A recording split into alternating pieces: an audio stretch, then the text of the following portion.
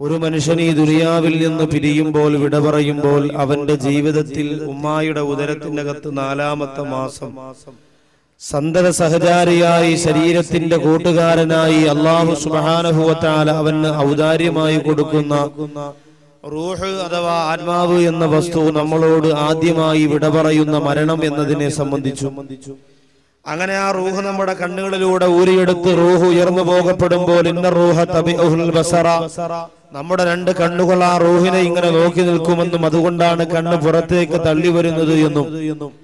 ആ റൂഹ് അങ്ങനെ പിരിഞ്ഞു കഴിഞ്ഞാൽ പത്ത് സ്ഥലങ്ങളിൽ ആ റൂഹ് മാറി നിന്നുകൊണ്ട് അയ്യത്ത് പരിപാലനത്തിനു വേണ്ടി വന്നവരെയും മരണവീട്ടിൽ സഹായിക്കാനും മറ്റുള്ളവരെ സാന്ത്വനപ്പെടുത്തുവാനും വന്ന ബന്ധുക്കളെയും കുടുംബക്കാരെയും കൂട്ടുകാരെയും നോക്കിയിട്ട് ആ മയ്യത്ത് വിളിച്ചു പറയും അല്ലെങ്കിൽ ആ റൂഹ് വിളിച്ചു പറയും എന്ന വിഷയത്തെ ആസ്പദമാക്കിയാണ് നാം ഇന്നലെ അഞ്ച് സമയങ്ങളെ കുറിച്ച് നാം പറഞ്ഞു. അഞ്ച് സമയങ്ങളിൽ ആത്മാവിന്റെ നിലവിളിയെ സംബന്ധിച്ച് റൂഹിന്റെ നൊമ്പരങ്ങളെ സംബന്ധിച്ച് പറഞ്ഞു. നബിസല്ലാഹു അലൈഹി വസല്ലമ തങ്ങൾ ആയിഷാ ബി റളിയല്ലാഹു തആലാനയോട് പറഞ്ഞു കൊടുക്കുന്ന രംഗമാണ്. ഇത് തന്നെ ഈ ഹദീസ് തന്നെ മറ്റൊരു റിപ്പോർട്ടിൽ നബിസല്ലാഹു അലൈഹി വസല്ലമ തങ്ങൾ ആയിഷാ ബി റളിയല്ലാഹുവിനോട് ചോദിച്ചു. പ്രിയപ്പെട്ട ആയിഷ ഒരു മയ്യത്തിന് ഏറ്റവും ഭയാനകരമായ ഒരു രംഗം ആ വീട്ടിലുണ്ട്. അതെപ്പോഴാണെന്ന് നിനക്കറിയുമോ? ഒരാൾ മരണപ്പെട്ടു പോയാൽ അയാളുടെ ജീവിതത്തിലെ ഏറ്റവും ഭയാനകരമായ രംഗം അയാൾക്ക് ആ റൂഹ് വീട്ടിൽ നിന്ന് അയാളുടെ ശരീരത്തിൽ നിന്ന് പിരിഞ്ഞു പോയാൽ ആ മയ്യത്തിന് അഭിമുഖീകരിക്കേണ്ടി വരുന്ന ഏറ്റവും വലിയ സങ്കടം എപ്പോഴാണെന്ന് ചോദിച്ചപ്പോൾ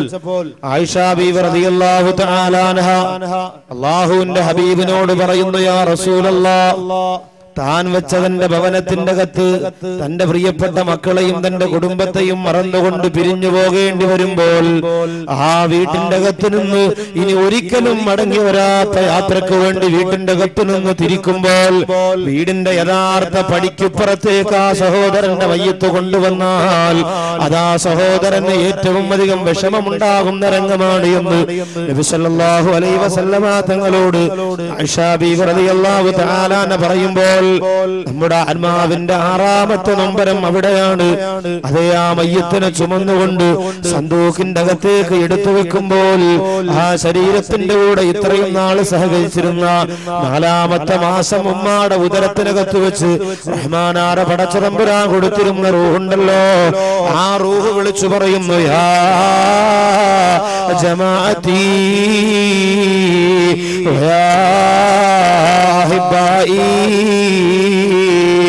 എന്റെ മയ്യത്ത് ചുമക്കുന്നവരെ എന്നെ ഇഷ്ടപ്പെടുന്നവരെ എന്നെ പള്ളിയിലേക്ക് അടക്കുവാനായി ധൃതിയിൽ കൊണ്ടുപോകുന്നവരെ എന്റെ വീട്ടിൽ അവസാനമായി എന്നെ ഓർത്ത് കരയുന്നത് ആരാണെന്ന് ഞാനൊന്ന് നോക്കട്ടെ. അവസാനമായി എന്നെ ഓർത്തുകൊണ്ട് കണ്ണീരൊഴുക്കുന്നത് ആരാണെന്ന് ഞാനൊന്നറിയട്ടെ. എന്ന് പറഞ്ഞുകൊണ്ട് ആ പ്രിയപ്പെട്ട റൂഹ ശരീരത്തെ ചുമക്കുന്ന ബന്ധുക്കളോട് പറയുമെന്നാണ് എന്റെ വീട്ടിന്റെ അകത്തിരുന്ന് എന്റെ ഭാര്യയാണോ? എന്റെ ജീവനക്കാർ ഇഷ്ടപ്പെട്ടിരുന്ന എന്റെ മക്കളാണോ? എന്റെ എന്റെ സമ്പാദ്യം കൊണ്ട് ജീവിതത്തിൽ സന്തോഷിച്ചിരുന്ന എന്റെ ഉമ്മയാണോ? എന്റെ ഉപ്പയാണോ? എന്റെ കൂട്ടുകാരാണോ? ആരാണ് അവസാനമായി ഞാൻ ഈ വീട്ടിന്റെ അകത്ത് നിന്ന് ഒരിക്കലും മടങ്ങി വരാത്ത യാത്രയ്ക്ക് വേണ്ടി തിരിക്കുമ്പോൾ അവസാനമായി കരയുന്നത് ആരാണെന്നറിയാൻ ഒന്ന് പതുക്കെ കൊണ്ടുപോകുമോ ഞാനൊന്ന് ശ്രദ്ധിക്കട്ടെ എന്ന് ആറാമതാ റൂഹ് വിളിച്ചു പറയുമെന്ന് നബിയുന മുഹമ്മദ് മുസ്തഫ. തങ്ങൾ പറയുകയാണ് എന്റെ പ്രിയപ്പെട്ട സഹോദരങ്ങളെ അതുകൊണ്ട് മരണ വീട്ടിൽ നിങ്ങൾ കരയണം എന്നതിന് അർത്ഥമില്ല മറിച്ച് എന്നെ ഓർത്തുകൊണ്ട് എന്റെ വിടവാങ്ങൽ ഓർത്തുകൊണ്ട് ഞാൻ പിരിയുന്നതറിഞ്ഞുകൊണ്ട് ഇനി ഒരിക്കലും എന്റെ വീട്ടിലേക്ക് ഞാൻ മടങ്ങി വരൂല. എന്ന് മനസ്സിലാക്കിയ എന്റെ ബന്ധുക്കളിൽ ആരാണ് അവസാനമായി എന്നെ കൊണ്ടുപോകുമ്പോൾ മനസ്സ് നൊമ്പരപ്പെടുന്നത്? അവരുടെ സ്നേഹത്തിന്റെ ആഴം ഞാനെന്നറിയട്ടെ എന്ന് പറഞ്ഞുകൊണ്ട് ആ റൂഹ് പ്രതീക്ഷയോടെ കാത്തിരിക്കുമെന്നാണ്. ഇന്ന് മരണ വീടുകളിലെ രംഗങ്ങൾ എന്താണ്?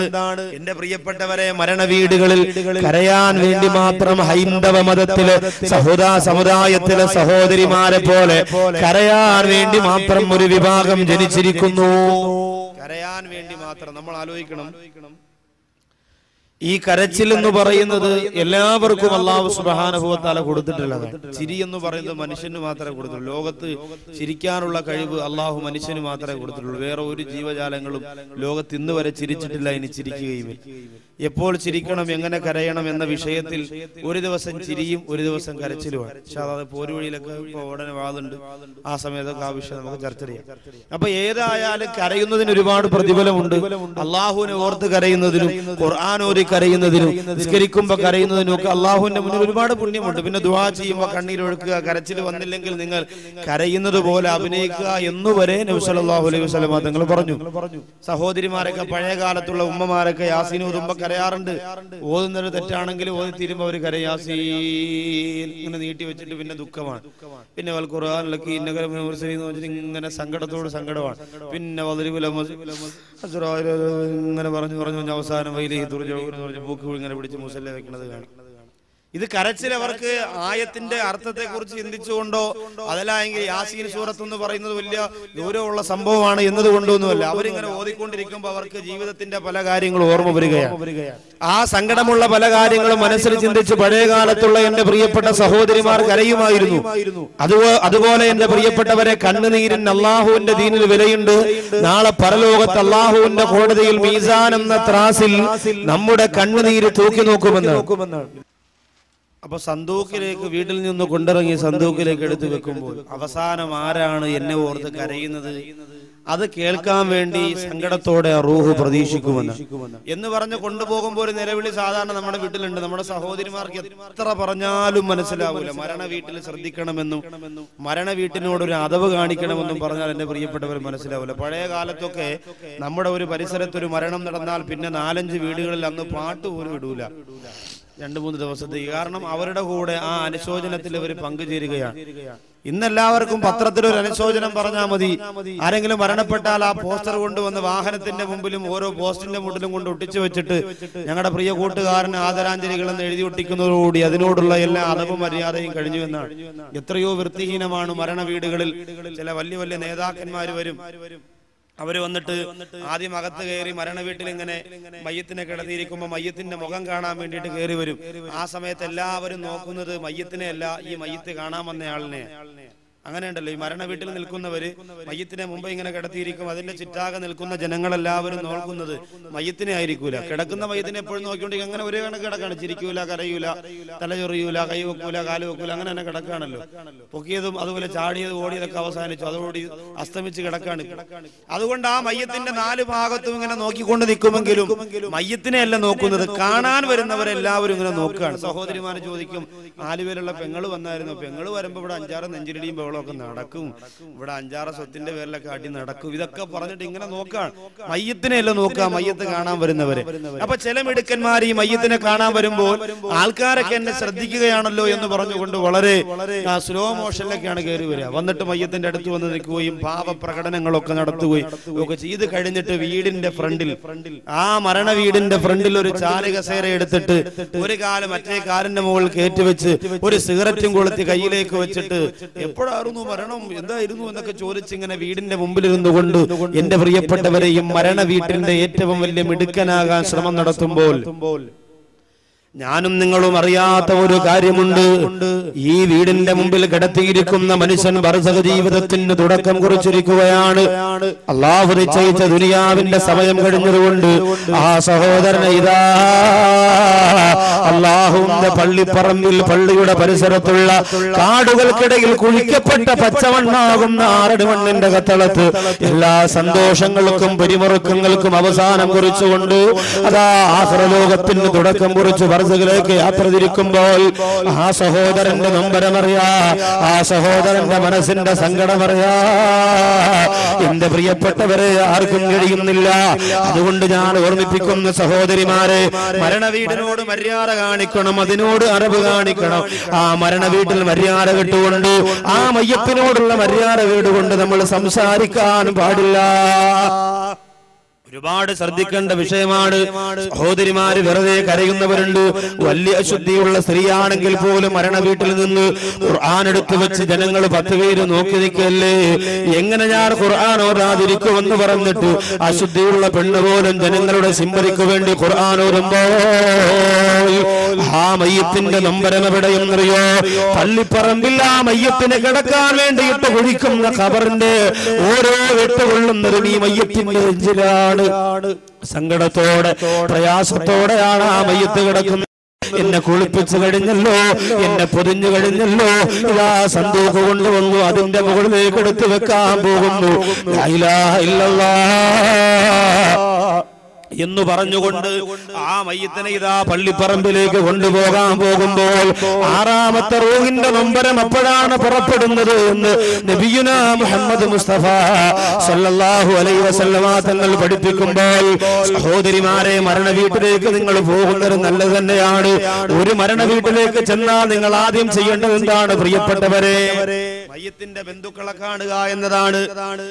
ഭർത്താവാണ് മരിച്ചുപോയതെങ്കിൽ അയൽവാസികളാറ് സഹോദരിമാര് ചെന്നിട്ട് ആ ഭർത്താവിന്റെ ഭാര്യയെ കാണണം. എന്നിട്ട് അവരെ സമാധാനിപ്പിക്കണം. അവരെ ഈ അള്ളാഹുവിന്റെ വിധിയിൽ ക്ഷമിക്കാൻ പറഞ്ഞു കൊടുക്കണം. ഭക്ഷണം കഴിക്കാറ് വെള്ളം കുടിക്കാറ് തളർന്നു കിടക്കുന്നവരാണ് അവരെങ്കിൽ അവർക്ക് സമാധാനം പറഞ്ഞു കൊടുക്കണം. ഇല്ല ഇതാണ് ഏറ്റവും വലിയ ജീവിച്ചിരിക്കുന്നവരുടെ ബാധ്യത. അല്ലാതെ എപ്പോഴും മയ്യത്തിന്റെ മുമ്പ് പോയി ഒരു ഖുർആാനും ഇങ്ങനെ കയ്യിൽ വെച്ചുകൊണ്ട് ആണുങ്ങൾക്ക് വരാൻ വയ്യ പൊതിയാൻ വയ്യ പള്ളിപ്പറമ്പിലേക്ക് മയ്യത്ത് കൊണ്ടുപോകാൻ വയ്യ. ആ ഒരു അവസ്ഥയ്ക്ക് തടസ്സം സൃഷ്ടിച്ചുകൊണ്ട് നിൽക്കാൻ പാടില്ല. മാത്രമല്ല സഹോദരിമാരെ എത്ര മരണം നടന്നു കഴിഞ്ഞാലും എത്ര ബുദ്ധിമുട്ട് ലോകത്ത് സംഭവിച്ചു കഴിഞ്ഞാലും ക്ഷമിക്കാൻ ഇസ്ലാം പറയുന്നു എങ്കിലും നമ്മളെ കൊണ്ട് വലിയ ബുദ്ധിമുട്ടുള്ള കാര്യമാണ്. ഏറ്റവും വലിയ ഏറ്റവും വലിയ സ്നേഹം നിങ്ങൾക്ക് തന്നിരുന്ന ഭർത്താവ് മരിക്കുമ്പോഴോ നിങ്ങളുടെ മക്കൾ മരിക്കുമ്പോഴോ നിങ്ങളുടെ കുടുംബക്കാർ മരിക്കുമ്പോഴോ ക്ഷമിക്കണമെന്ന് ഉസ്താദുമാർക്ക് പറയാനല്ലാതെ അവർക്ക് ക്ഷമിക്കാൻ കഴിയണമെന്നില്ല. കാരണം എന്താ? ജീവിതത്തിന്റെ എല്ലാ സമയങ്ങളും മക്കൾക്ക് വേണ്ടി ചെലവഴിച്ച് ജീവിതത്തിന്റെ ഒട്ടുമിക്ക ഭാഗങ്ങളും അവർ ആ കുടുംബത്തിന് വേണ്ടി വിനിയോഗിച്ചു അവസാനം ആ സ്നേഹം തന്ന കുടുംബനാഥൻ വിടവാങ്ങുമ്പോ ആ വിടവാങ്ങൽ മനസ്സിലൊന്നുകൊണ്ട് പൊട്ടിക്കറിയുന്ന എന്റെ പ്രിയപ്പെട്ട സഹോദരിമാരെ ലോകം ഏറ്റവും അധികം കരഞ്ഞു പോരാ ലോകം ഏറ്റവും അധികം സങ്കടപ്പെട്ടു പോരാ ലോകം പോലും കിടുകിടാ വിറച്ചു പോയ രംഗമാണല്ലോ. ലോകത്തിലൊന്ന് ഹബീബായ നബി മുഹമ്മദ് മുസ്തഫ സല്ലല്ലാഹു അലൈഹി വസല്ലമ തങ്ങൾ വിട പറഞ്ഞു പോയത്. അത് ഈ സമുദായം ക്ഷമിച്ചില്ലേ? ഈ സമുദായത്തിലെ പ്രവാചകന്റെ പ്രിയപ്പെട്ട സ്നേഹിതന്മാരാരാ?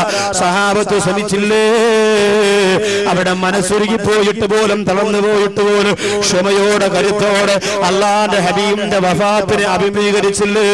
ഭ്രാന്ത് പിടിച്ചവനെ പോലെ അലഞ്ഞു തിരിഞ്ഞ് വന്ന ഉമർ ഖത്താബ് റളിയല്ലാഹു തആല അൻഹു പോലും അബൂബക്കർ സിദ്ദീഖ് റളിയല്ലാഹു തആല അൻഹുവിന്റെ ക്ഷമയുടെ വാക്ക് കേട്ടുകൊണ്ട് മനസ്സിന് സമാധാനം കണ്ടെത്തി പോയിയെങ്കിൽ എന്റെ സഹോദരിമാരെ നമ്മളാരും ഭർത്താവ് മരിച്ചു എന്ന് പറഞ്ഞുകൊണ്ട് ചില സഹോദരിമാർ വിചാരിക്കും അന്ന് തലമറയ്ക്കണ്ട അന്ന് നല്ലതുപോലെ ഡ്രസ്സ് ധരിക്കണ്ട എത്രയോ മരണ വീട്ടിൽ ഭർത്താവ് മരിച്ചു കിടക്കുമ്പോൾ ശരീരത്തിന്റെ നഗ്നത തുറന്നിട്ടുകൊണ്ട് മയ്യത്തിന്റെ മുമ്പ് വന്നുകൊണ്ട് നെഞ്ചത്തടിച്ച് വിളിക്കുന്ന പെണ്ണേ നിന്റെ ഭർത്താവ് ചെയ്ത അമലുമായി ഭർത്താവ് പോയി. എന്തിനാണ് മോളെ? ആ ഭർത്താവിന് അതാപ് വാങ്ങിക്കൊടുക്കുന്നത് സ്നേഹമുള്ളവളാണ് നീയെങ്കിൽ ഭർത്താവിന്റെ പരലോകം രക്ഷപ്പെടണമെന്ന് കൊതിക്കുന്നവളാണ് നീയെങ്കിൽ മാറപ്പിടിച്ച് അട്ടഹസിക്കല്ല പെണ്ണേ. അത് ഹൈന്ദവരുടെ ആചാരമാണ്. അവരുടെ വീടുകളിൽ ഹൈന്ദവരുടെ നമ്മുടെ ഈ പരിസരത്തൊക്കെ ഉണ്ട്. വീടുകളിൽ ഇതിനു വേണ്ടി മാത്രം നമ്മൾ നിവേദനത്തിന്റെ ദഫ്മുട്ട് ആ, പിന്നെ കളിക്കാൻ വേണ്ടി ടീമിനെ വിളിക്കാൻ പോകുന്ന പോലെ ഹൈന്ദവരുടെ മരണ വീടുകൾ നെഞ്ചത്തടിച്ച് കരയാൻ വേണ്ടി മാത്രം ടീമിനെ കാശ് കൊടുത്ത് കൊണ്ടുവരും. അവർക്ക് കരയണമെന്ന് അവരുടെ നിയമമുണ്ടെന്നാ പറയണം പക്ഷെ നമുക്ക് അങ്ങനെയല്ല നമ്മൾ മനസ്സിനെ പിടിച്ചു നിർത്താൻ ശ്രമിക്കും നബി സല്ലല്ലാഹു അലൈഹി വസല്ലമ തങ്ങൾ ഏറ്റവും അധികം കരഞ്ഞത് ബഹുമാനപ്പെട്ട ഹംസ റളിയല്ലാഹു വഫാത്തിലും അതുപോലെ ഖദീജ ബിബി റളിയല്ലാഹു അൻഹയുടെ വിടവാങ്ങലിലുമാണ് പിന്നെ ഒരുപാട് സമയങ്ങളിൽ നബി സല്ലല്ലാഹു അലൈഹി വസല്ലമ തങ്ങൾ മനസ്സിനെ പിടിച്ചു നിൽക്കുന്നത് പലർക്കും കാണാൻ കഴിഞ്ഞു എന്നാണ്. എത്രയോ എത്രയോ സഹാബത്തിന്റെ മയ്യത്ത് എത്രയോ സന്തത സഹചാരികളുടെ റൂഹ് പിരിഞ്ഞപ്പോൾ ബഹുമാനപ്പെട്ട നബിയുന മുഹമ്മദ് മുസ്തഫ സല്ലല്ലാഹു അലൈഹി വസല്ലമ തങ്ങളൊക്കെ പറഞ്ഞു കൊടുത്തു എന്നാണ്. സൈനബ് റളിയല്ലാഹു തആല അൻഹു അതുപോലെയുള്ള പ്രിയപ്പെട്ടവരൊക്കെ മരണപ്പെട്ടപ്പോൾ നബി സല്ലല്ലാഹു അലൈഹി വസല്ലമ തങ്ങളുടെ കണ്ണുനീര് എങ്ങനെ ഒഴുകി എന്ന് പോലും എന്റെ പ്രിയപ്പെട്ടവരെ ആയിഷ ബീവി റളിയല്ലാഹു അൻഹ റിപ്പോർട്ട് ചെയ്യുന്ന. നൂറുകണക്കായ ഹദീസുകളിലൂടെ പറയുമ്പോൾ നമുക്ക് കരച്ചിലൊക്കെ വരും സംഭവം ശരിയാണ്. ഇപ്പൊ എന്റെ വീട്ടിൽ എനിക്ക് വേണ്ടപ്പെട്ടവർ മരിച്ചാൽ ഞാനും കരയും. നിങ്ങൾക്ക് വേണ്ടപ്പെട്ടവർ മരിച്ചാൽ നിങ്ങളും കരയും. പക്ഷേ ഈ കരച്ചിലിന് ഒരു മര്യാദയുണ്ട് മരണ വീട്ടിൽ നെഞ്ചത്തടിച്ച് മാറത്തടിച്ച് എന്റെ മച്ച പോയേന്നും പറഞ്ഞ് രണ്ട് കൈയും കൊണ്ട് നെഞ്ചത്തൊരൊറ്റ വിളിയാ. നൈറ്റി മാക്സി ഒക്കെ വലിച്ചു കീറി ഇതാ കിടക്കും പിന്നെ എങ്ങനെ ഈ മരണ വീട്ടിൽ നിന്ന് ചെറുപ്പക്കാർ മാറി നിൽക്കും? നിങ്ങൾ എന്താ വിചാരിച്ചത്? നിങ്ങൾ ആലോചിക്കണം എന്റെ പ്രിയപ്പെട്ടവരെ മരണ വീടുകളിൽ നമ്മുടെ മനസ്സിന് പ്രയാസം വരുമ്പോഴും സന്തോഷം വരുമ്പോഴാണ് ഇബിലീസ് പെട്ടെന്ന് മനസ്സിലേക്ക് കയറുക. ഏറ്റവും അധികം സന്തോഷം വരുമ്പോഴും ഏറ്റവും അധികം സങ്കടം വരുമ്പോഴും ശപിക്കപ്പെട്ടവനാര നമ്മുടെ മനസ്സിനെ പിടിച്ചടക്കുമെന്ന്. അതുകൊണ്ട് ഒരുപാട് ശ്രദ്ധിക്കണം. അതുകൊണ്ട് തന്നെ ഇന്ന് പല സ്ഥലങ്ങളിലും കല്യാണത്തിന്റെ അന്നും നിസ്കരിക്കൂല ആരെങ്കിലും മരിച്ചാൽ മരണത്തിന്റെ അന്ന് നിസ്കരിക്കൂല. ഈ രണ്ട് സമയം ഒഴിച്ച് ബാക്കിയുള്ള ദിവസമൊക്കെ ഭയങ്കര നിസ്കാരം കാരണം ഈ രണ്ട് ദിവസം ഇബിലീസാണ് അവന് നേതൃത്വം കൊടുക്കുന്നത്. നമ്മളതിൽ പെട്ടുപോകരുത്. പോകരുത് അതുകൊണ്ട് സഹോദരങ്ങളെ മരണ വീട്ടിലെ നെഞ്ചത്തടിയും മാറത്തടിയും ഒക്കെ നിർത്തി വെച്ചിട്ട് കരഞ്ഞോ നിനക്ക് കരയാമതിന് മര്യാദയുണ്ട്. പക്ഷേ എന്തിനാണ് കരയേണ്ടത്? ഈ പ്രിയപ്പെട്ട മരണപ്പെട്ടു പോയ സഹോദരന്റെ കബറിന്റെ രക്ഷയോർത്തുകൊണ്ട് അള്ളാഹു എന്റെ പ്രിയപ്പെട്ടവനാണ് ഭർത്താവാണ്. അതുകൊണ്ട് ആ ഭർത്താവിന്റെ കബർ വിശാലമാക്കി കൊടുക്കണേ റഹ്മാനെ. എന്റെ മക്കൾക്ക് വേണ്ടി ജീവിച്ചവനാണ്. എനിക്ക് വേണ്ടി ജീവിച്ചവനാണ്. ഞാൻ എന്തു പറഞ്ഞാലും എന്റെ മുമ്പിലേക്ക് കൊണ്ടുവന്നവനാണ്. വിദേശ രാജ്യത്ത് കിടന്ന് എന്റെ പ്രിയപ്പെട്ടവൻ കഷ്ടപ്പെടുമ്പോ ഞാൻ എന്താവശ്യപ്പെട്ടാലും എന്റെ മുമ്പിലേക്ക് കൊണ്ടുകൊണ്ട് തന്നവനാണ്. അതുകൊണ്ട് എന്റെ പ്രിയപ്പെട്ട ഭർത്താവ് ഇന്ന് മുതൽ ബർസഖിന്റെ ജീവിതത്തിന് തുടക്കം കുറിക്കുമ്പോ എന്റെ പ്രിയപ്പെട്ട ഭർത്താവിന്റെ ഖബർ വിശാലമാക്കി കൊടുക്കണമല്ല എന്നോർത്തുകൊണ്ട് കരയാമത് മാത്രമല്ല ബഹുമാനപ്പെട്ട ഉമ്മുസ്ലീം റളിയല്ലാഹു താലാനുവിനോട് അബൂ സലമ റളിയല്ലാഹു തആലാന് പഠിപ്പിച്ചു കൊടുത്ത വിക്രം എന്താണ്? അല്ലാഹുവിന്റെ ഹബീബ നബി മുഹമ്മദ് മുസ്തഫ സല്ലല്ലാഹു അലൈഹി വസല്ലമ തങ്ങൾ പറഞ്ഞു കൊടുത്തതാണ്. അല്ലാഹുമ്മ അല്ലാഹുമ്മ ഫീ മുസീബത്തി മിൻഹാ. നബി സല്ലല്ലാഹു അലൈഹി വസല്ലമ തങ്ങൾ അടുത്തു പോയിരുന്നിട്ട് ബഹുമാനപ്പെട്ട അബൂ തആല പഠിച്ചുകൊണ്ട് വന്ന ദിക്റാണ്. ഉമ്മ പറഞ്ഞു കൊടുത്തു പെണ്ണേ വിലപ്പെട്ടതെന്തെങ്കിലും നിനക്ക് നഷ്ടപ്പെട്ടു പോയാൽ ഏറ്റവും വേണ്ടപ്പെട്ട വിലപ്പെട്ടത് എന്തെങ്കിലും നിനക്ക് നഷ്ടപ്പെട്ടു പോയാൽ പെണ്ണെ ഈ ദിക്കുറു പറയാ. അള്ളാന്റെ റസൂൽ പറഞ്ഞിട്ടുണ്ടോ. എന്ത് ദിക്കറാണെന്ന് ചോദിച്ചപ്പോ അബൂ സലമ റളിയല്ലാഹു തആല പറഞ്ഞു കൊടുക്കുന്നു. ഫീ മുസീബത്തി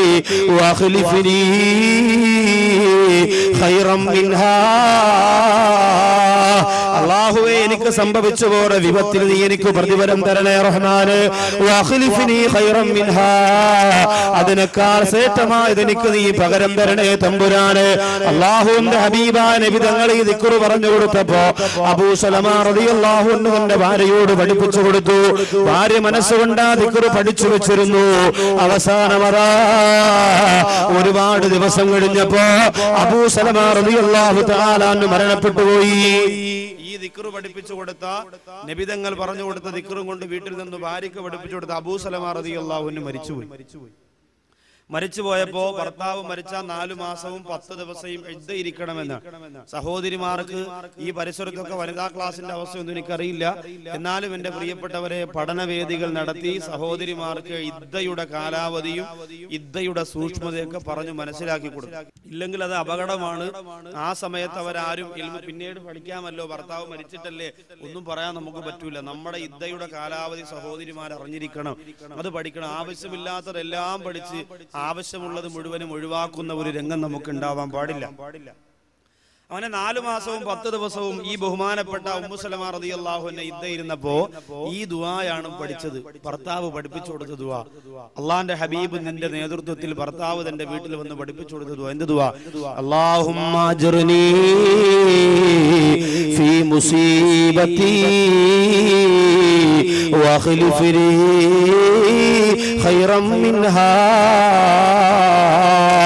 അള്ളാഹുവെ എനിക്ക് സംഭവിച്ച എന്റെ വിപത്ത്. എന്റെ ഭർത്താവ് എന്നോട് വിട പറഞ്ഞു പോയതാണ് എത്ര സ്നേഹമായിരുന്നു അല്ല എത്ര സന്തോഷമായിരുന്നു അല്ല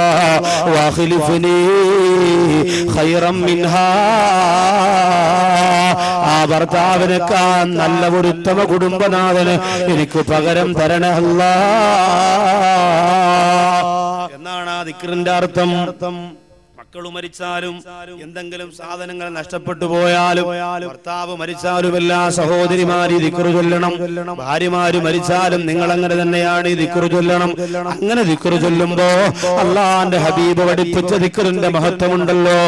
ആ ദിക്കുറിന് പകരമായി മരിച്ചുപോയവരെക്കാൾ ശ്രേഷ്ഠമായവരെ നിങ്ങൾക്ക് അള്ളാഹു തിരിച്ചു തരുന്നതാണ്. ബഹുമാനപ്പെട്ട ഉമ്മുസലമാ റളിയല്ലാഹു തആല എന്ന പറ മനസ്സുകൊണ്ട് സഹാബത്തിനോട് പറയുന്ന സഹാബ എന്റെ ഭർത്താവ് മരിച്ചപ്പോ അതിനേക്കാൾ ഉത്തമനായവനെ തിരിച്ചു തരണമെന്ന് അള്ളാഹുവിന്റെ റസൂൽ പഠിപ്പിച്ച ഞാൻ ചൊല്ലിയെങ്കിലും എന്റെ മനസ്സിലറിയാ. ആരാണ് ദുനിയാവിൽ അയാളെക്കാ ശ്രേഷ്ഠമായത് എന്റെ ഭർത്താവിനേക്കാൾ എന്നെ സ്നേഹിച്ചവരാരുമില്ലല്ലോ. എന്റെ ഭർത്താവിനേക്കാൾ ദീനുള്ളവരാരുമില്ലല്ലോ. എന്റെ ഭർത്താവിനേക്കാൾ എന്റെ കുടുംബം പോറ്റുന്നവരാരുമില്ലല്ലോ. എന്ന് ചിന്തിച്ചുകൊണ്ട് എനിക്കിനി ആരാണ് ഇതിന് പകരം വരാറുള്ളത്.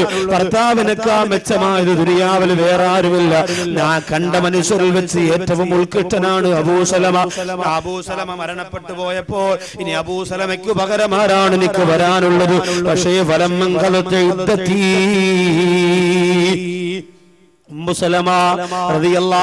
പറയുന്നു എന്റെ ഇദ്ദയുടെ കാലാവധി കഴിഞ്ഞപ്പോൾ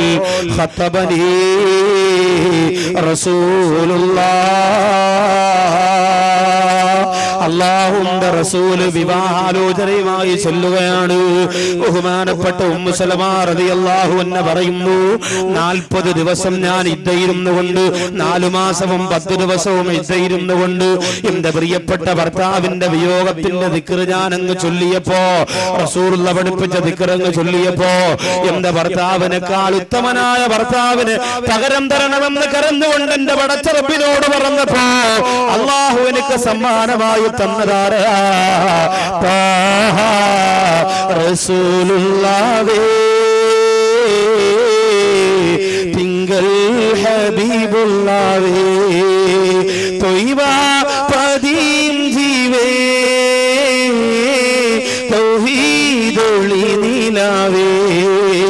അർഷും കുറിശിനും അധിപതിയുടയോന് അസനത്ത് ഉലകത്തിൽ ഉരച്ച പോയേ. അർഷും കുറിശിനും അധിപതിയുടയോന് അസനത്ത് ഉലകത്തിൽ ഉരച്ച പോയേ.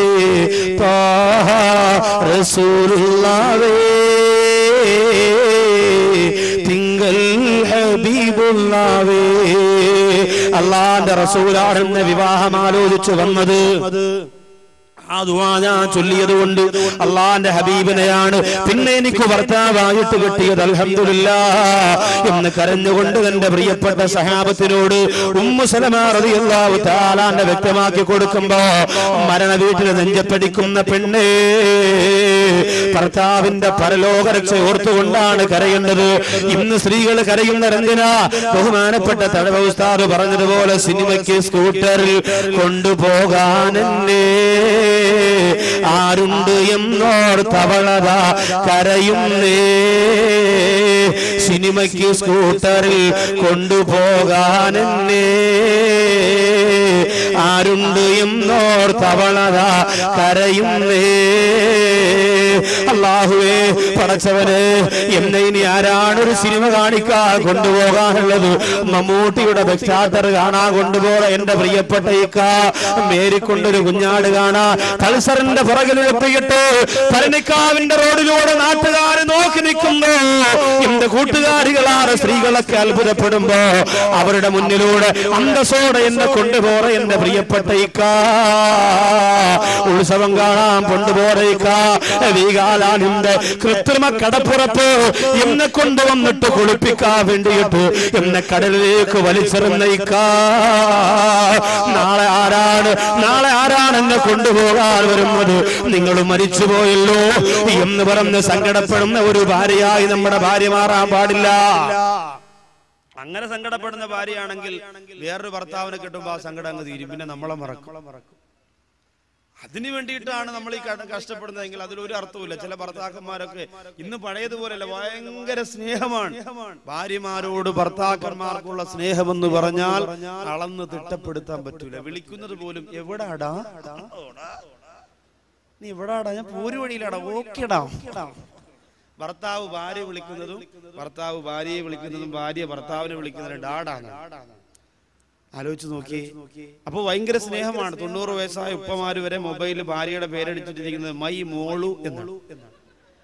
എന്റെ മോളു ചക്കരക്കുട്ടി എന്നൊക്കെ ഇന്ന് ഭാര്യയുടെ പേര് വിളിക്കുമല്ലോ കരൾ കുടൽ. ഇതൊക്കെ ഇങ്ങനെ ഈ ആൽബം കണ്ട് എന്റെ പ്രിയപ്പെട്ട ചെറുപ്പക്കാരൊക്കെ ആ മോഡലിലേക്ക് കാര്യങ്ങൾ നിൽക്കും. വലിയ സ്നേഹമാണ്.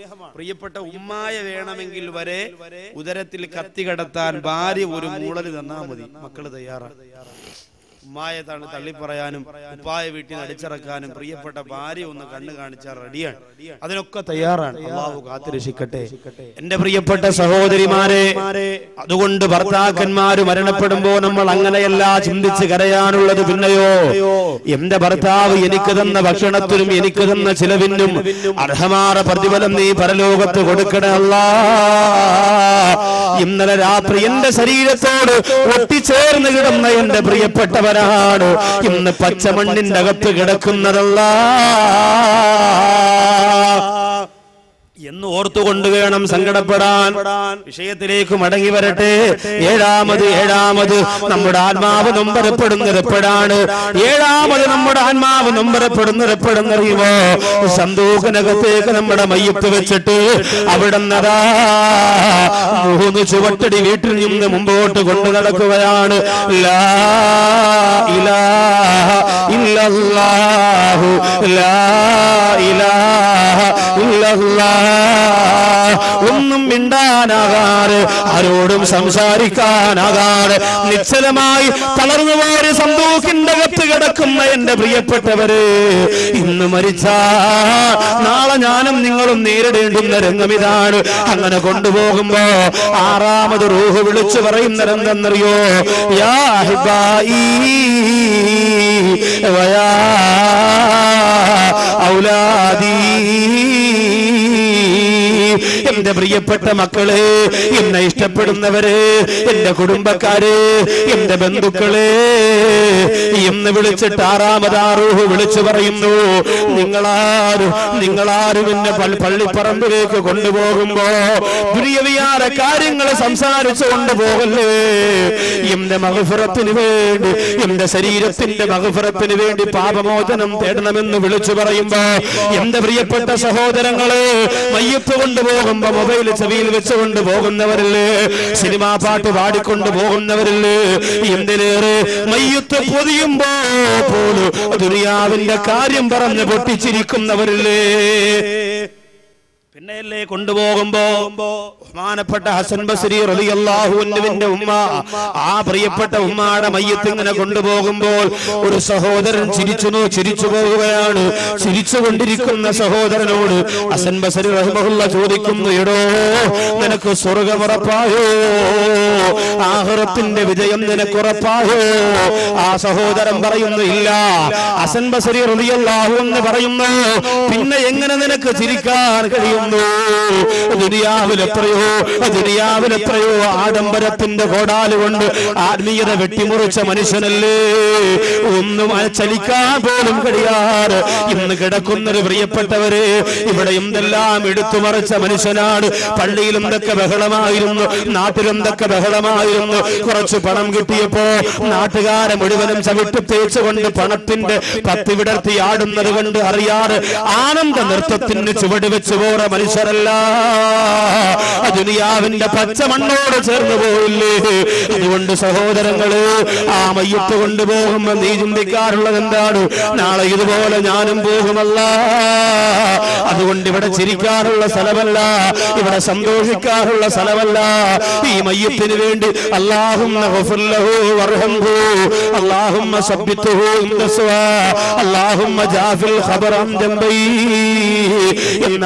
ഇൻദസ്വാ ദുക്കറുകൾ ചൊല്ലിയിട്ട് ആ മയ്യത്തിന് വേണ്ടി നിറകണ്ണുകളോട് അള്ളാഹുവിനോട് പാപമോചനം ചോദിക്കേണ്ടുന്ന സമയമാണ്.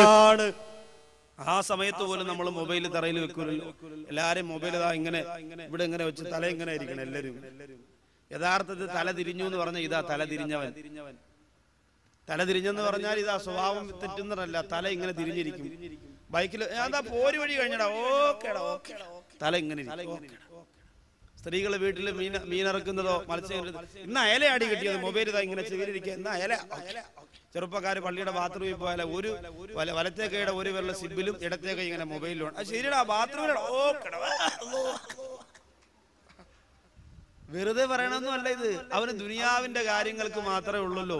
ധൃതി അല്ലേ? ആലോചിച്ചു എന്തെല്ലാം കാര്യങ്ങളാണ് ഭൗതികമായ ലോകത്ത് നമ്മൾ ഈ മൊബൈൽ എപ്പോഴും ഫുൾ ടൈം നമ്മുടെ കയ്യിലുണ്ടാവും.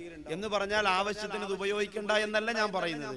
മറിച്ച് ഈ ഇങ്ങനെയുള്ള സ്ഥലങ്ങളിൽ ഇങ്ങനെയുള്ള സാഹചര്യങ്ങൾ അതിനൊരു നിയന്ത്രണം ഞാനും നിങ്ങളും കൊടുത്തില്ലെങ്കിൽ അപകടമാണ്. വല്ലാത്ത ബുദ്ധിമുട്ട് നമുക്കുണ്ടാവും.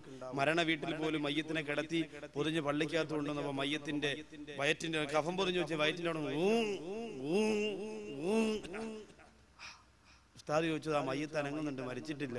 അപ്പൊ നിസ്കരിച്ചുകൊണ്ട് അടക്കിയിരുന്നെങ്കിൽ എന്തിനാ മോൻ പറഞ്ഞു ഉസ്താദെ അത് ജീവനുള്ളതല്ല എന്റെ മൊബൈൽ വൈബ്രേഷനാണ് ഉസ്താദ് പെട്ടെന്ന് പുതിയാൻ പറഞ്ഞപ്പോൾ ഞാനും കൂടെ കുനിഞ്ഞ് ഇങ്ങനെ കെട്ടിക്കൊണ്ടുന്ന മൊബൈൽ അങ്ങ് വീണ്. പിന്നെ ഞാൻ വിചാരിച്ചു ഇപ്പൊ എടുക്കണ്ട പാപ്പാക്ക് എന്തെങ്കിലും ബുദ്ധിമുട്ടുണ്ടെങ്കിൽ പോയിട്ട് വിളിച്ച് പറയട്ടെ. പാവല്ലേ. ഇത് എന്റെ പ്രിയപ്പെട്ട ആലോചിച്ച് നോക്ക് മരണ വീട്ടിൽ മയ്യത്ത് പൊതിയുമ്പോ വരെ അത്രയ്ക്ക് ലാഘവത്തോടു കൂടിയില്ലേ? നമ്മൾ ആലോചിക്കും. വെറും ലാഘവത്തോടു കൂടി ചെയ്യാ? അതുകൊണ്ട് ശ്രദ്ധിക്കണം എല്ലാവരും എല്ലാവരും മൊബൈൽ ഉപയോഗിക്കുന്നവർ. എല്ലാ സകല ആൾക്കാരും അതിനു വേണ്ടി ഉപയോഗം. പിന്നെ പക്ഷെ പലർക്കും പറഞ്ഞുകൂടെ ഗൾഫിൽ നിന്ന് വാപ്പമാ പിന്നെ മക്കൾ വരുമ്പോൾ ആദ്യം വാപ്പാക്ക് നീളമുള്ള മൊബൈൽ വാങ്ങിച്ചു പാപ്പ ഉടനെ കടയിൽ വന്നിട്ട് കോയാക്കാട് പറയടാ മോൻ കൊണ്ടുവന്നതാ. അടിപൊളി മൊബൈലാണ് സെറ്റപ്പ് എന്നൊക്കെ പറയും. ഉടനെ ഇതൊന്ന് ഓണാക്കാൻ നല്ലതുപോലെ അറിഞ്ഞുകൂടാ. ഓഫ് ആക്കാൻ അറിഞ്ഞുകൂടാ. കോൾ വരുമ്പോ എടുക്കാൻ മാത്രം അറിയാം. അതുകൊണ്ട് ആദ്യമായിട്ട് വെള്ളിയാഴ്ച പള്ളിയിൽ പോയി. പള്ളിയിൽ ചെല്ലുമ്പോൾ ഉസ്താദ് എന്താ പറയാ? സഫുകൾ നേരെയാക്കുക മൊബൈൽ ഓഫ് ആക്കുക. എല്ലാ ഉസ്താദന്മാരും പറയും. പറഞ്ഞില്ലെങ്കിൽ അന്ന് അവിടെ ബഹളമാണ് ഇപ്പാവാക്ക് ഇത് ഓഫാക്കാൻ പറഞ്ഞൂടാ. ഉസ്താദ് അങ്ങനെ പള്ളിയൊക്കെ നിശബ്ദമായി ശബ്ദമായി ഫാത്തിയോദിയായിരുന്നു പറഞ്ഞ് സൂറത്ത് അങ്ങോട്ട് തുടങ്ങിയപ്പോ പാപ്പാരെ മൊബൈലിൽ ഉമ്മാമ വിചാരിച്ചു ഒന്ന് വിളിച്ചു നോക്കാം പള്ളിയിൽ പോയതല്ലേ? മൊബൈലും കൊണ്ട് പോയല്ലേ കിട്ടുമെന്നറിയാലോ വീട്ടിൽ നിന്ന് വിളിച്ചപ്പോ ഉപ്പാവരെ മൊബൈലിൽ പെണ്ണേ പെണ്ണേ നീ എന്റേതല്ലേ? പാട്ട് കേൾക്കാം. ഉടനെ മോദി മാമ അല്ലോ പള്ളിക്കകത്തും പെണ്ണ പടച്ചോ നോക്കുമ്പോ ഇയാൾ മൊബൈലിന്റെ മണ്ടേ കേറി നിക്കാണ്. ഇത് ഓഫ് ആവണല്ല സംഭവം. ചൈന സെറ്റാണ് ഹൗദി കിടന്നാലും വലിയ ഇട്ടുകൊണ്ടിരിക്കും ഓഫ് ആവൂല? അങ്ങനെ ഇതിനെ മണ്ടേ കയറി നിൽക്കാണ് ഇത് ഓഫ് ആവുന്നില്ല. അവസാനം ഉസ്താദ് ഈ ശബ്ദമെല്ലാം അവിടെ കേട്ട് പള്ളിക്കകത്ത് ആകെ ഗ്രാനൈറ്റ് ആയതുകൊണ്ട് എക്കോ ആണല്ലോ. മൊത്തം ഇങ്ങനെ കേട്ടു ഉസ്താദിന്റെ സൂറത്തും തെറ്റി. ഉടനെ പുറകിൽ ഒരാൾ ഉണർത്തി കൊടുക്കണമല്ലോ. ഉടനെ അപ്പുറത്ത് നിന്ന് ഇപ്പാ പറഞ്ഞിടേ അത് ഈ സൂറത്തിലല്ല അടുത്ത സൂറത്തിലാണ്. ആകെ കുഴപ്പം. ഒരുത്തനാണെങ്കിൽ എന്ത് ചെയ്യാം? പള്ളിക്കകം വെള്ളിയാഴ്ച അത് എത്ര നല്ല തക്കവോട് ഉസ്താദ് അലി റതിയാണ് ചരിത്രമൊക്കെ പറഞ്ഞു ഭയങ്കര ഹുത്തുബേക്ക് ഓതി കരഞ്ഞുകൊണ്ട് നിസ്കാരം തുടങ്ങിയതാ. അവസാനം ഓരോരുത്തർ കരഞ്ഞുകൊണ്ട് ഇറങ്ങി പോക്ക് തുടങ്ങി. താമസിച്ചു വരുന്ന കുറെ ചെറുപ്പക്കാർ പറഞ്ഞടാ ഇന്ന് ആ പള്ളി നിസ്കാരമില്ല അവിടെ ഗാനമേളയാണെന്നാണ് ഉസ്താദിന്റെ പാട്ടൊക്കെ കേൾക്കുന്നത് നമുക്ക് തിരിച്ചു പോവാം. അങ്ങനെ എത്ര ഒന്ന് ശ്രദ്ധിച്ചാൽ മാത്രം മതിയല്ലോ. ഇത് മരണ വീട്ടിൽ മയ്യത്ത് കൊണ്ടുപോകുമ്പോൾ ബഹളം. അതുപോലെ നിസ്കാരം തുടങ്ങുമ്പോൾ ബഹളം. സമി അള്ളാഹുലിമൻ അമിത എന്ന് പറയുമ്പോൾ പാട്ട്. പിന്നെ അവസാന ചെറുപ്പക്കാരൊക്കെ സുജൂതി പോകുമ്പോഴാണ് മൊബൈൽ അളയാ പിന്നെ വിളി. ഞാൻ നിസ്കാരത്തിലാണ് അത്തയ്യാത്ത ഇങ്ങനെ പറയും. ഇങ്ങനെ പറയും. കാരണം ഇത് പള്ളിക്കകത്ത് നിരന്തരം ഇങ്ങനെ ആയി. സഹോദരിമാരും സഹോദരങ്ങളൊക്കെ ശ്രദ്ധിക്കണം. പഴയ കാലത്ത് സഹോദരിമാർക്ക് മൊബൈൽ ഉപയോഗം എന്ന് പറയുന്നത് പേടിയായിരുന്നു. ലജ്ജയാണ്. എങ്ങനെ ഞാൻ അമ്മോ വെല്ലേക്കല്ലേ പടച്ചോരി എന്ന് പറഞ്ഞാൽ പോവാണ് ഇന്ന് ജംഗ്ഷനിൽ പോയി നിന്നാ നാല് മൊബൈലും ഏഴ് പോക്കറ്റും പത്ത് മെമ്മറി കാർഡ് എഴുപത്തിയാൽ സിമ്മും ആയിട്ടാണ് നടക്കുക. മൊബൈലിൽ പോയി ഹലോ ജംഗ്ഷനിലേക്ക് സൂറേ, സൂറേ. ആരോട് സംസാരിക്കും? ഒരറപ്പുമില്ല പെൺകുട്ടികൾക്ക്. പതിനാല് വയസ്സും പതിനഞ്ച് വയസ്സും മുതൽ അവിടെ നിങ്ങോട്ട് തൊണ്ണൂറ് വയസ്സുള്ള തള്ളമാർക്ക് വരെയും അതിന് അറപ്പില്ല. പക്ഷേ ഒരു കാര്യം നിങ്ങൾ മനസ്സിലാക്കണം സഹോദരിമാരെ. അന്യപുരുഷന്മാരോട് സംസാരിച്ചു കൊണ്ടിരിക്കുന്ന സംസാരങ്ങൾ മുഴുവനുമുണ്ടല്ലോ ഭർത്താവറിയാതെ സംസാരിച്ചു പോലെ മുഴുവൻ സംസാരങ്ങളും അതാ. നിന്റെ മൊബൈലിനകത്തിരുന്ന് ക്ലിപ്പ് ചെയ്ത് എടുക്കാൻ സാധിക്കുന്ന സംവിധാനം ഇന്ന് ചൈന കണ്ടുപിടിച്ചിരിക്കുകയാണ്. ഞാൻ എന്റെ മൊബൈലിലൂടെ ആരോടൊക്കെ സംസാരിച്ചിട്ടുണ്ടോ? അതാര് കേൾക്കണ്ട? ആരും അറിയണ്ട. എന്റെ മൊബൈൽ ഒരു മൊബൈൽ ഷോപ്പിൽ കൊണ്ടു കൊടുത്താൽ അതിന്റെ അകത്തിരുന്ന് ഞാൻ ഇന്ന് വരെ സംസാരിച്ച സംസാര സകലങ്ങൾ മുഴുവനും റെക്കോർഡ് ചെയ്ത് എടുക്കാൻ കഴിയുന്നതാണ്. നിങ്ങൾ ആരും അറിയണ്ട. കടയിൽ കൊണ്ട് കൊടുത്താൽ പത്ത് മിനിറ്റത്തെ കേസേ നമ്മൾ ഇന്ന് വരെ സംസാരിച്ചത് മുഴുവനും. അങ്ങനെയാണെങ്കിൽ സകലതും പൊളിയും. സഹോദരിമാർ ആലോചിച്ച് നോക്കിയേ.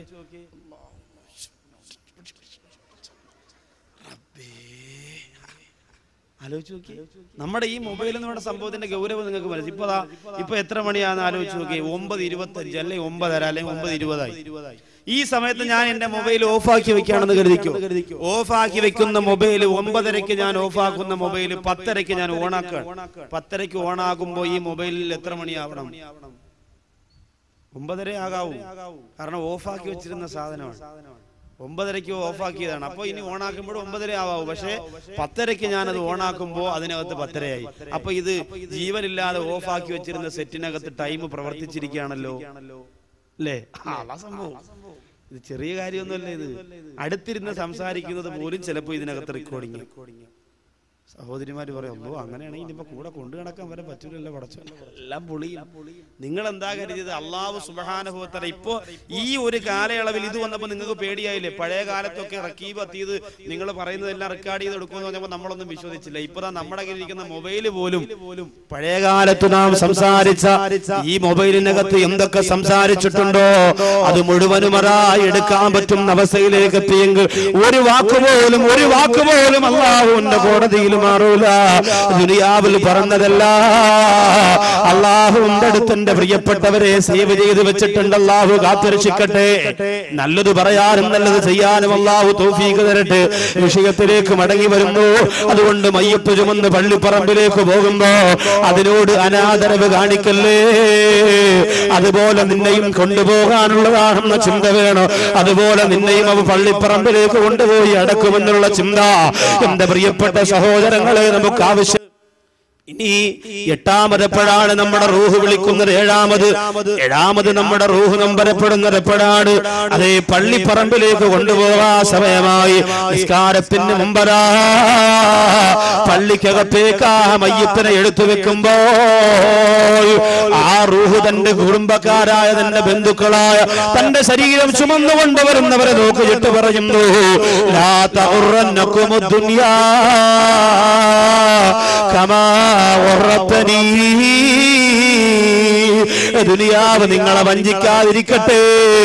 ദുനിയാവ് നിങ്ങളെ ചതിക്കാതിരിക്കട്ടെ. കമാ ഒറത്തനി എന്നാ ദുനിയാവ് ചതിച്ചതുപോലെ എന്നെ ദുനിയാ പോലെ നിങ്ങളെ ദുനിയാവ് ചതിക്കാതിരിക്കട്ടെ എന്ന് പറയുകയാണ്. പ്രിയപ്പെട്ടവരെ ആലോചിക്കുക. ഓരോരുത്തരും ദുനിയാവിന്റെ ചതിയിൽപ്പെട്ടില്ലേ പണത്തിന്റെ ചതിയിൽപ്പെട്ടില്ലേ പെണ്ണിന്റെ ചതിയിൽപ്പെട്ടില്ലേ ആഡംബരത്തിന്റെ കുരുക്കിൽപ്പെട്ടില്ലേ ഇന്ന ദുനിയാ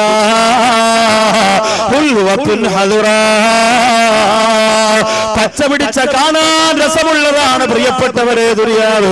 അതുകൊണ്ട് ദുനിയാവിന്റെ പിന്നാലെ പോകല്ലേ? ഏഴാമറാം അയ്യപ്പന്റെ റൂഹ് പറയുന്നതാണ്. അയ്യപ്പ ചുമന്നു കൊണ്ടുവരുന്നവരെ നിസ്കാരം കഴിഞ്ഞ് പോകാൻ തീരുമാനിച്ചവരെ അടക്കി കഴിഞ്ഞ് പോകാൻ തീരുമാനിച്ചവരെ. ദുനിയാവ് നിങ്ങളെ വഞ്ചിക്കാതിരിക്കട്ടെ. ഉസ്താദുമാരുടെ വാത് കേട്ട് ഞാനും തീരുമാനിച്ചതാണ് നിസ്കാരം തുടങ്ങണമെന്ന് തലമറക്കണമെന്ന് നോമ്പ് പിടിക്കണമെന്ന് സ്വലാപ്പ് ചെല്ലണമെന്ന് പള്ളിയുമായി ബന്ധപ്പെടണമെന്ന്. പക്ഷേ എന്നെ ഇബിലീസ് നശിപ്പിച്ചു കളഞ്ഞു. എന്നെ ദുനിയാവ് കുരുക്കി കളഞ്ഞു. അതുകൊണ്ട് വേണ്ട എന്നെ നശിപ്പിച്ചതുപോലെ എന്റെ മയ്യപ്പ് ചുമക്കുന്നവരെ നിങ്ങളെ നശിപ്പിക്കാതിരിക്കട്ടെ. എന്റെ ജീവിതം തീർന്നു. നിങ്ങൾക്കൊരു ജീവിതം ബാക്കിയാണ് ബാക്കിയുള്ള ജീവിതം ഒരു സെക്കൻഡ് ആണെങ്കിൽ പോലും നിങ്ങൾ ഭാഗ്യവാന്മാരാണ്. നിങ്ങൾക്ക് പ്രവർത്തിക്കാനുള്ള സ്വാതന്ത്ര്യമുണ്ട്. എനിക്കതില്ലല്ലോ. എന്റെ റൂഹ് പിരിഞ്ഞല്ലോ അതുകൊണ്ട് ഈ വിളിയാണ് ആറാമത് ഏഴാമതായിട്ട് ആ റൂഹ് അയ്യപ്പ് ചുമന്നു കൊണ്ടുപോകുന്നവരോട് വിളിച്ചു പറയുന്നതെങ്കിൽ നമ്മളാരും അത് അറിയുന്നില്ല. നമ്മളാരും അത് ശ്രദ്ധിക്കുന്നില്ല. വീണ്ടും പറയുന്നു.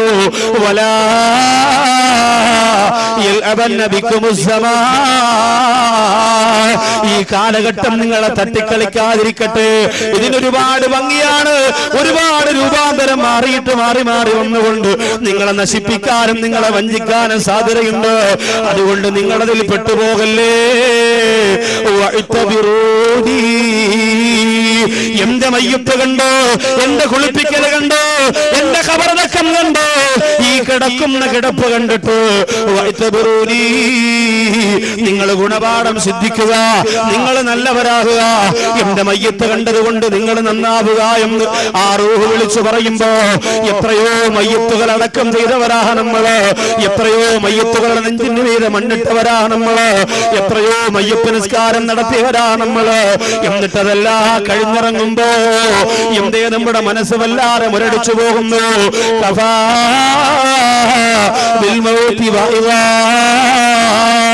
അള്ളാഹുന്റെ റസൂൽ പറയുന്നു ഏറ്റവും നല്ല വായലാരാണ്? ഏറ്റവും നല്ല പ്രഭാഷകനാരാണ്? ഏറ്റവും നല്ലതുപോലെ ദുനിയാവിൽ ഉപദേശ നിർദ്ദേശം കൊടുക്കാ. കഴിവുള്ളത് ആർക്കാന്നറിയോ അത് മരണത്തിന് മാത്രമാണ്.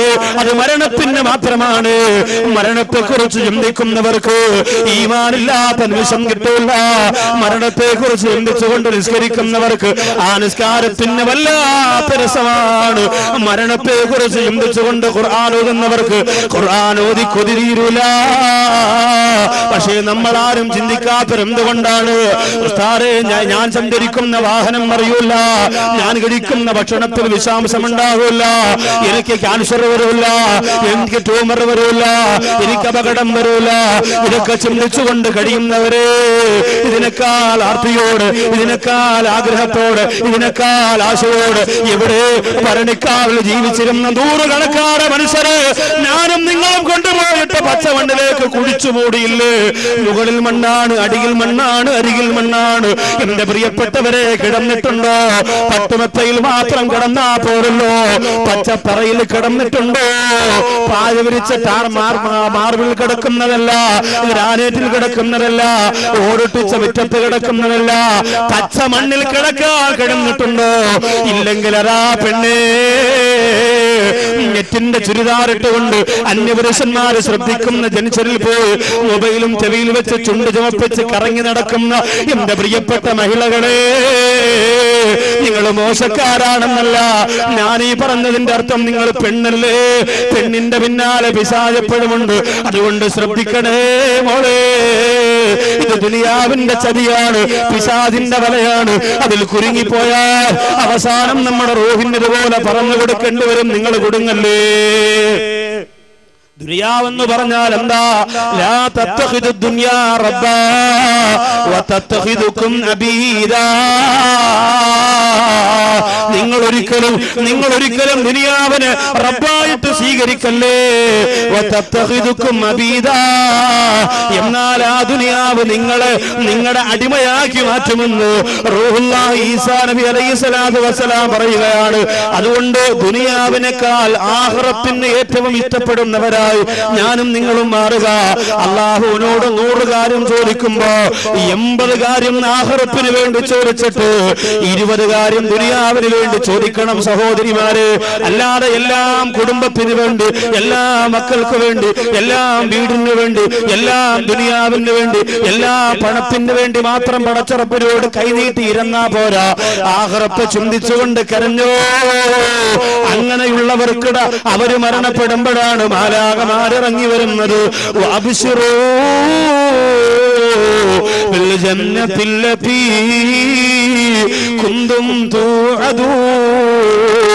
അള്ളാഹു വാഗ്ദാനം ചെയ്തിരിക്കുന്ന സ്വർഗം നിങ്ങൾ കണ്ടോ?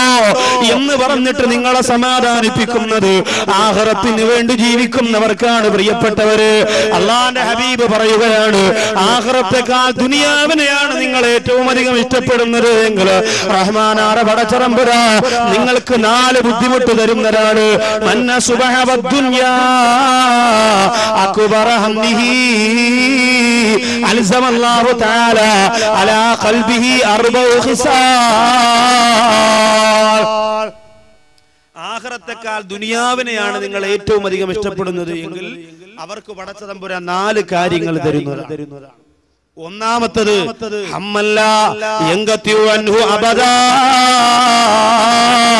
ഒരിക്കലും തീരാത്ത ദുഃഖം അള്ളാഹു അവന് കൊടുക്കുന്നതാണ്. ആഹ്റത്തെക്കാൾ ദുനിയാവിനെ ഏറ്റവും അധികം ഇഷ്ടപ്പെട്ടാൽ ഒരിക്കലും തീരാത്ത ദുഃഖം അള്ളാഹു നമുക്ക് തരും. പണത്തിന്റെ പിന്നാലെ ഓടുന്നവന് ദുഃഖിക്കാനല്ലേ നേരമുള്ളൂ സന്തോഷിക്കാൻ സമയമുണ്ടോ? തിരുവനന്തപുരത്ത് ഒരു കടയിൽ സാറേ ആ കടയ്ക്കകത്തിരുന്ന് നിങ്ങളൊന്ന് ദുവാ ചെയ്യണമെന്ന് പറഞ്ഞുകൊണ്ട് കൊണ്ടുപോയി. ഇന്ന് അങ്ങനെയാണല്ലോ. എല്ലാവർക്കും ഉസ്താദിനെ കൊണ്ടാണ് എല്ലാം ഉദ്ഘാടനം ചെയ്യിപ്പിക്കുന്നത്. സിനിമാ നടന്മാരെ കൊണ്ടായിരുന്നു പഴയ കാലത്തൊക്കെ ഇപ്പൊ അതൊക്കെ മാറി. ഉസ്താദുമാരൊക്കെ വേണമെന്നുള്ള ചിന്തയൊക്കെ ആയി. കള്ളന്മാരൊക്കെ കയറി എല്ലായിടത്തോട്ട് പോയപ്പോൾ പള്ളിയിലെ മൊയിലാരെ വിളിക്കാത്തതുകൊണ്ടാണ് ആരാ പറഞ്ഞു അന്ന് പോലും മൊയിലാക്കന്മാരെയൊക്കെ വിളിച്ചോടെ. ഒരു സ്ഥലത്ത് ആന ഉദ്ഘാടനം മൊയിലാരെ. ആന ഉൾക്കാടം ഒരാളൊരു ആന വാങ്ങി. തന്നോട് പറയാം ഉസ്താദെ നിങ്ങൾ ഇത് ഉൾക്കാടം ചെയ്യും. അത് പറഞ്ഞു ഞാൻ താഴെ ഇന്ന് ആനയുടെ മുമ്പ് ഇന്ന് ഫാത്തി ഓതാം. അത് അത് പറ്റൂല. ആനനെ മണ്ടേ കയറി അത്. അത് നമുക്ക് പണി തരാനുള്ള ഫാത്തിയല്ലേ അത്. താഴെ ഒന്ന് ഉദ്ഘാടനം ചെയ്യും. ഒക്കെ നിങ്ങൾ ഉദ്ഘാടനം ആയിട്ട് സ്വീകരിച്ചാൽ മതി. ഇല്ലെങ്കിൽ എനിക്ക് ഉദ്ഘാടനം ചെയ്യാൻ സൗകര്യമില്ല. ഉസ്താദെ എന്നെ മണ്ടേ കയറി എന്നൊരു ഫാത്തി വറക്കത്തില്ല. സംഭവം വറക്കത്താണ് പക്ഷെ ആനയ്ക്ക് അറിഞ്ഞൂടല്ലോ. ഞാൻ മുസ്ലിയാർ വറക്കത്തുള്ള വലിയ മുസ്ലിയാരാണെന്ന് ആനയ്ക്കറിയില്ല അതുകൊണ്ട് ഞാൻ താഴെ നിന്ന് ഓതി ഇപ്പൊ നമ്മളെ ഒരു പ്രിയപ്പെട്ട ഉസ്താനെ ലോറി ഉദ്ഘാടനത്തിൽ ഒരാളൊന്ന് വിളിച്ചതാ. പള്ളിയുടെ മുമ്പ് ലോറി ഉണ്ടല്ലോ ഉസ്താറെ ഷോറൂമിൽ നിന്ന് എടുത്ത് നേരെ ഞാൻ ഇവിടെ കൊണ്ടുവന്നു. ഇവിടെ നിന്നാണ് എന്റെ ഓട്ടം തുടങ്ങുന്നത്. നിങ്ങൾ തന്നെ ഉദ്ഘാടനം ചെയ്യും. ഉസ്താദ് പറഞ്ഞു ശരി. ആ താക്കോലിങ്ങനെ താക്കോലൊക്കെ കയ്യിൽ വെച്ചിട്ട് ബിസ്മില്ലാ റഹ്മാൻ ബിസ് ബിസ് ബിസ് അപ്പൊ അയാൾ പറഞ്ഞു അത് പറ്റും. താക്കോലുള്ള ഊതിൽ മാത്രം പോരാ. നിങ്ങൾ കയറി ഇരുന്ന് ഒരു രണ്ട് കിലോമീറ്റർ ഓട്ടി. ഉസ്താദ് പറഞ്ഞു അള്ളാഹുവേ എടാ എനിക്ക് വണ്ടി ഓട്ടിക്കാനൊക്കെ അറിയാം. എന്നാലും ലോറി എന്ന് ഞാൻ അങ്ങനെ ഉസ്താദ് ഉസ്താദ് ശകല ഒരു കിലോമീറ്റർ കൊണ്ട് എന്റെ ആഗ്രഹം കൊണ്ടല്ലോ. എടാ വേണ്ടടാ അത് ശരിയാണ് സാറേ എത്ര ദൂരത്തുനിന്ന് ഞാൻ എന്ത് ആഗ്രഹത്തോടുകൂടി വന്നതാണ് നിങ്ങൾ തന്നെ ഇത് ഒരു കിലോമീറ്റർ ഓടിക്കണം. പ്ലീസ് ഉസ്താദ്. നിങ്ങൾ ഫാത്തി ഒതിനും കുഴപ്പമില്ല നിങ്ങൾ ഓടിച്ചാ അപ്പൊ അങ്ങനെ. കയറി ഇരുന്ന് താക്കോൽ കൊടുത്തു. ഉസ്താദ് ബിസ്മില്ലാ റഹ്മാൻ പറയുന്ന ഫാത്തിയെ കോതിയിട്ട്. താക്കോൽ വെച്ച് സ്റ്റാർട്ട് ചെയ്ത് നോക്കിയാൽ മൂന്ന് മതിൽ മൊത്തം അങ്ങ് പോയി. ഒന്ന് പള്ളിയിലത് രണ്ടെണ്ണം അപ്പുറത്തെ കദീജാത്ത കദീജാത്ത വെറുതെ ഇവിടെ പള്ളിക്കാർ ഉസ്താദായതുകൊണ്ട് ചിലപ്പോൾ ക്ഷമിക്കുമെന്ന് വിചാരിക്കാം. കദീജാത്ത എന്ത് ചെയ്യും? അവസാനം ഉസ്താദല്ലേ പിടിച്ചു നിൽക്കണ്ടേ ഇയാൾ വന്നിട്ട് പറഞ്ഞു ഉസ്താദേ ഇങ്ങനെ ഒട്ടിക്കാനല്ല പറഞ്ഞത്? എടാ ഞാൻ അന്നേരം പറഞ്ഞത് എനിക്ക് അത്ര പ്രാക്ടീസ് ഇല്ല. ഇപ്പൊ എന്ത് പറ്റിപ്പോയി? എടാ കുഴപ്പമൊന്നുമില്ല. ഈ വണ്ടി കൊണ്ട് നീ പോകുമ്പോ ദുനിയാവിൽ വെച്ച് നിന്റെ ജീവിതത്തിൽ ഇടിക്കാനുള്ള മൂന്ന് മതിലുണ്ടായിരുന്നു. അത് അള്ളാഹു ഇപ്പൊ എന്റെ കൈ കൊണ്ട് ഇടിച്ചു തന്നാണ്. ഇനി ഒരിക്കലും ഇടിക്കില്ല ധൈര്യമായിട്ട് ഉണ്ടായിരിക്കും അപ്പൊ ഇതങ്ങ് കെട്ടിക്കൊടുത്താൽ മതി. കുഴപ്പമൊന്നും ഉണ്ടാവില്ല. കാരണം എന്താ പറയുക ചില ആൾക്കാർക്ക് അങ്ങനെയാണ് അങ്ങനെയാണ്. എല്ലാം അങ്ങനെ ഉൾക്കാർ അങ്ങനെ ഒരു കടയിൽ ഉദ്ഘാടനത്തിന്റെ ഈ ഒന്ന് അവിടെ കടയിൽ കച്ചവടം കുറവാണ് എന്ന് പറഞ്ഞുകൊണ്ട് അട്ടക്കുളങ്ങര ആ കടയ്ക്കകത്ത് ചെന്നപ്പോ ആ കടയിലെ ഉമ്മ മക്കളാണ് കട അടുത്ത ഉമ്മ വന്നിട്ട് കരഞ്ഞുകൊണ്ട് പോകും വലിയ ഒരു ടെക്സ്റ്റൈൽസാ നമ്മളൊക്കെ വലിയ വലിയ കല്യാണത്തിനൊക്കെ പോയി തുണിയെടുക്കാൻ പോണവരാ. മുപ്പത്തിയേഴ് ലക്ഷം രൂപയാണ് കടം. എത്രയാ? മുപ്പത്തിയേഴ് ലക്ഷം. വലിയ കടയാണ്. വാഹനം രണ്ടു മക്കളാണ് കടയിലിരിക്കാൻ വരെ രണ്ടു മക്കൾക്ക് ഓരോ സ്വിഫ്റ്റ് വാഹനമാണ്. ഉമ്മാക്ക് പിന്നെ സ്കൂട്ടറാണ് മുപ്പത്തിയേഴ് ലക്ഷം. വാടക എത്രയെന്നറിയുമോ ആ സ്ഥ അതിന്റെ വാടക എഴുപത്തി അയ്യായിരം രൂപയാണ്. പത്ത് ദിവസം കൂടുമ്പോൾ എഴുപത്തി അയ്യായിരം രൂപ കൊടുക്കണം. പത്ത് ദിവസം കൂടുമ്പോൾ എഴുപത്തഞ്ച് പത്ത് ദിവസം കൂടുമ്പോൾ എഴുപത്തഞ്ച്. അങ്ങനെ കൊടുത്തുകൊണ്ടിരിക്കും. വലിയ തുണിക്കടയാണ് അവർ പറയുന്നു വീട് വാടകയ്ക്കാണ്. കട വാടകയ്ക്കാണ്. മുപ്പത്തിയേഴ് ലക്ഷം രൂപ നിലവിൽ കടമുണ്ട്. ഒരു രാത്രി അവർക്ക് സമാധാനമായിട്ട് കിടന്നുറങ്ങാൻ പറ്റും. നിങ്ങൾ ആലോചിച്ചു. ഒരൊറ്റ രാത്രി. നിങ്ങൾക്ക് ഇതുപോലെ അച്ചാരെടുത്ത് വാള മാറ്റുകൊണ്ടുവരാൻ പറഞ്ഞു വേള മാറ്റുകൊണ്ടുവരാൻ പറഞ്ഞു കൊണ്ടുവന്നില്ല വാളയായിപ്പോ എന്ന് പറഞ്ഞുകൊണ്ട് നിങ്ങൾ പിണങ്ങി കിടക്കുന്നു. ആലോചിച്ച് നോക്കി. എന്തൊക്കെ നിസാരമായ കാര്യങ്ങൾക്ക് വേണ്ടി ഭർത്താവിനോട് വഴക്കിട്ടുകൊണ്ട് പിണങ്ങി കിടക്കുന്നില്ല. മുപ്പത്തിയേഴ് ലക്ഷം രൂപയുടെ കടം തലയ്ക്ക് മുകളിൽ വെച്ചുകൊണ്ട് കഴിയുന്ന സഹോദരന് ഒരു സെക്കൻഡ് സമാധാനമുണ്ടോ? ഹമ്മല്ല അബദാ. ഒരിക്കലും തീരാത്ത ദുഃഖം ഞാൻ അവന് കൊടുക്കുന്നതാണ്. ഒരിക്കലും തീരൂല ആ ദുഃഖം. ദുനിയാവിനോടുള്ള പ്രേമം വിട്ടേ തീരും. അല്ലെങ്കിൽ തീരൂല എന്റെ പ്രിയപ്പെട്ട.